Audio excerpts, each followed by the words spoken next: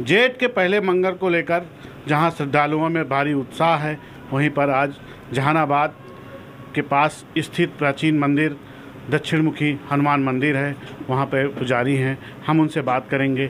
क्या क्या अ, इस पर मतलब आज क्या क्या महत्व है अ, बड़े मंगल को लेकर?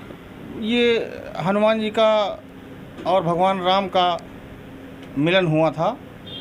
इसलिए इसको बड़े मंगल के रूप में लोग मानते हैं और अभी कितने मंगल पड़ेंगे? पाँच मंगलवार पड़ रहे हैं आपकी पाँच मंगलवारों में भव्य श्रृंगार भगवान का पाँचों मंगलवार में होगा और शरबत है पूड़ी है चना है इसका भोग लगता रहता है भक्तों के द्वारा वितरित किया जाता रहता है।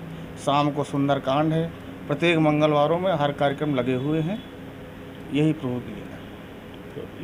मंदिर मतलब दक्षिण मुखी मंदिर है? ये दक्षिण मुखी हनुमान मंदिर है। इसका केवल दर्शन माँ से ही लाभ होता है। पुजारी हो या न हो मात्र दर्शन करने से ही लाभ होता है। ये आग के समान है।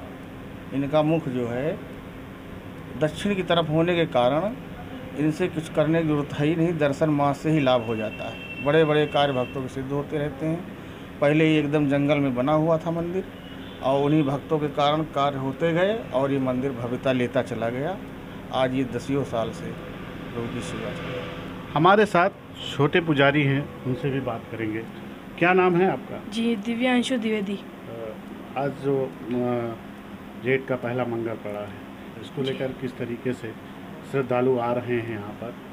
और प्रसाद कैसे दिया जा रहा है? जी आ, आज बहुत भक्त आए और बहुत भीड़ थी।